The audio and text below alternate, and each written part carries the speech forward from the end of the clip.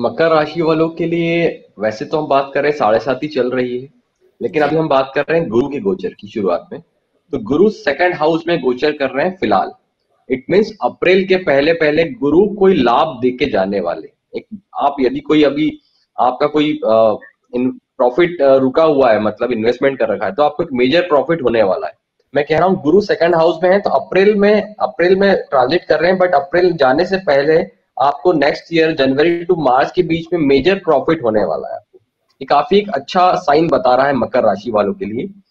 अब गुरु लेकिन third house में जाने वाले हैं अप्रैल से। तो गुरु का थर्ड हाउस में गोचर कहीं ना कहीं आने वाला टाइम आपके लिए थोड़ा सा चैलेंजेस बढ़ने वाले हैं। आपको अपनी स्किल पे ध्यान देना पड़ेगा। अपने काम पर फोकस करना पड़ेगा। करियर के लिए ये थोड़ा सा चैलेंजिंग है गुरु का गोचर।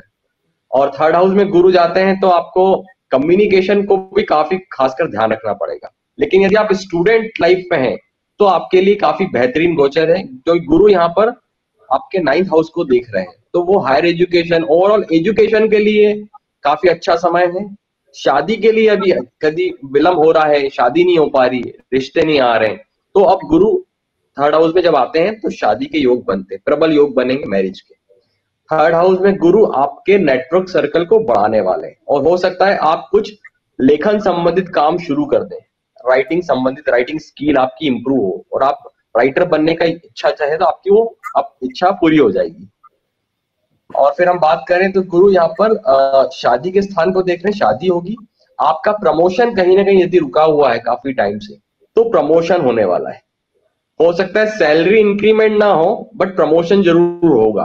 विद मिनिमम सैलरी बहुत ज़्यादा नहीं बट आपकी डेजिग्नेशन बढ़ने वाली, पद बढ़ने वाला है। फिर आप आप अपने लाइफ पार्टनर के प्रति भी फोकस करने वाली, यदि आपकी शादी हो गई तो। फिर हम बात करें मैरिज लाइफ में जो कॉन्फ्लिक्ट आ रहे हैं, यदि फ़िलहाल में तो वो मैरिज लाइफ में जो कॉन्फ्लिक्ट आ रहे हैं, वो खत्म हो जाएँगे रिजोल्व हो जाएँगे। यदि कोई ऐसी स्थिति बन रही है डिवोर्स की तो वो नहीं होगा, और वो प्रॉब्लम सॉल्व हो जाएगी। फिर नाइन्थ हाउस गुरु देख रहे हैं तो आपके जीवन में गुरु आने वाले हैं, या यूँ कहें, आप किसी एस्ट्रोलॉजर से भी मिल सकते हैं। तो आपको, जो आपको रिलीजियस वैल्यू बताएगा आपका एक्सपांशन होगा अध्यात्म के प्रति। और फिर हम बात करें तो यहाँ पर आपका भाग्य का स्थान है नाइन्थ हाउस तो आपका लक जो साथ नहीं दे रहा है, वो लक साथ देगा लंबी यात्राएँ होने वाली, विदेश जाने का योग है तो वो बनता है।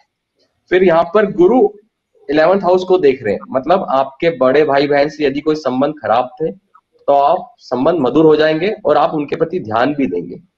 और आपके लाभ को बढ़ाने वाले गुरु या आपकी जो इच्छा पूर्ति होने वाली है, आने वाले समय में, यदि आप किसी चीज़ का वेट कर रहे हैं तो वो आपकी डिज़ायर फुलफिलमेंट हो जाएगी। आपके दोस्तों से भी आपके रिलेशन अच्छे हो जाएँगे। ओवरऑल गुरु का गोचर अच्छा है, लेकिन यहाँ पर रेमेडी की आवश्यकता पड़ेगी नेक्स्ट आफ्टर द अप्रैल कि आप डेली नहाते वक्त बाल्टी में एक चुटकी हल्दी की चुटकी डालें और उससे स्नान करें तो भी गुरु के निगेटिव फल नहीं मिलेंगे।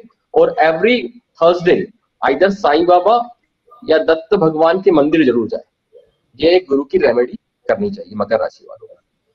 फिर हम बात करें राहु और केतु के गोचर की। तो राहु कुंडली के फोर्थ हाउस में आ रहे हैं। फोर्थ हाउस में जब राहु आते हैं तो कहीं ना कहीं आपके, आप इमोशनली कनेक्ट हो जाओगे अपने माता से, अपने घर से। आप अपने घर में कुछ नया रिनोवेशन करोगे या कुछ ना कुछ एक्सपांशन करोगे। या हो सकता है आप कोई नई चीज़ घर में खरीद के लाए, जिससे घर की शोभा बढ़े ओवरऑल ऐसा है। और राहु विदेश का कारक है तो कहीं ना कहीं जो आपके परिवार से कोई फॉरेन गया होगा तो वो यहाँ पर आने वाला है। फॉरेन से यहाँ पर आने वाला है, आपसे मिलने। फिर हम बात करें तो आप एक ओवरऑल प्रॉपर्टी में आपके एक्सपांशन होने वाला है।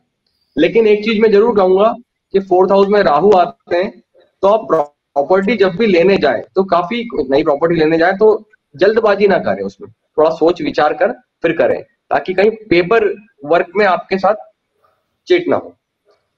फिर हम बात करते हैं केतु टेंथ हाउस में आ रहे हैं। तो केतु टेंथ हाउस में गोचर को हम कहते हैं कि आपको आपको अवार्ड तो मिलेगा अपॉर्चुनिटी भी मिलेगी बट हो सकता है आपका फोकस करियर के प्रति ना हो। तो यहाँ पर ये प्रिकॉशन दिया जाता है या यहाँ पर ये रेमेडी दी जाएगी कि आप अपने काम पर पूरा फोकस करें, क्योंकि केतु अपॉर्चुनिटी लेके आने वाला है बट आपका फोकस नहीं होगा तो वो अपॉर्चुनिटी आके चली जाएगी। तो आप अपने काम के प्रति फोकस करें और कहीं भी लापरवाही ना करें। मतलब काम को पूरे टाइम पे करें, जो टाइम लिमिट है। तो केतु के रिज़ल्ट पॉजिटिव मिलने वाले हैं। और यहाँ पर एक रेमेडी मैं बात करूँ केतु की तो ताकि केतु पॉजिटिव हो जाए तो गणपति अथर्वशीष का पाठ पढ़ना चाहिए। या यू कहें, गणपति जी को दुर्वा चढ़ाना चाहिए डेली बेसिस पे हो सके तो। अदरवाइज़ बुधवार को तो करना ही करना है। और गणपति अथर्वशीष का पाठ पढ़े। तो ये ये तो बात हो गई राहु केतु के गोचर की। अब हम बात करें शनि की। तो ऑब्वियसली शनि की साढ़े साथी से गुजर रहे हैं। मकर राशि वाले द्वितीय चरण चल रहा है। अप्रैल से उनका साढ़े साथी का तीसरा चरण शुरू हो रहा है। मतलब जाते जाते शनि महाराज रिलीव करने वाले हैं। और जो अभी तक साढ़े साथी की समस्या आ थी, उसमें भी फ़र्क पड़ेगा। हालाँकि लाइफ में मूवमेंट बढ़ने वाला है, क्योंकि शनि जाते जाते लाइफ को स्पीड को बढ़ा देते हैं। तीसरे स्थान पर आते हैं तो तीसरी चरण में जब आते हैं तो आपकी भागदौड़ बढ़ने वाली जीवन में। बट यहाँ पर बैठ के मुझे लगता है कि आप आपको अपने जो मनी है सेविंग है, उसके प्रति भी ध्यान रखना चाहिए और कुटुंब के प्रति जो है, उसके प्रति भी ध्यान रखना चाहिए। और यदि हम हेल्थ पॉइंट की बात करें तो आपको अपने आँखों का मतलब आँखों को प्रॉपर वॉश करें डेली बेस पे और दांतों का भी ध्यान रखें। अदरवाइज़ दांतों का ट्रीटमेंट आपको लेना पड़ सकता है आने वाले टाइम में। फिर यहाँ पर शनि की रेमेडी ज़रूर करना चाहिए, क्योंकि साढ़े साथी चल ही रही है। और तो शनि की रेमेडी यहाँ पर यह है कि एवरी सैटरडे आप शनि मंदिर जाएँ वहाँ गरीबों की सेवा करें सैटरडे को हो सके तो आप एक काला कपड़ा लें और उसमें सरसों का तेल थोड़ा सा काले, काली दाल जो होती है और एक कील और एक सिक्का, ये बाँध कर किसी गरीब को दान करें एवरी सैटरडे और खासकर शनि के उसमें हम कहते हैं आप, कि आपको हनुमान जी की शरण में भी जाना चाहिए तो भी शनि की समस्या में रिलीफ मिलता है। और दान पुण्य जितना करेंगे, अपने काम को प्रॉपर टाइम पे करेंगे, उतना आपको शनि के ब्लैसिंग्स मिलेंगी। तो यहाँ पर मकर राशि वालों के लिए ये गोचर की हमारी।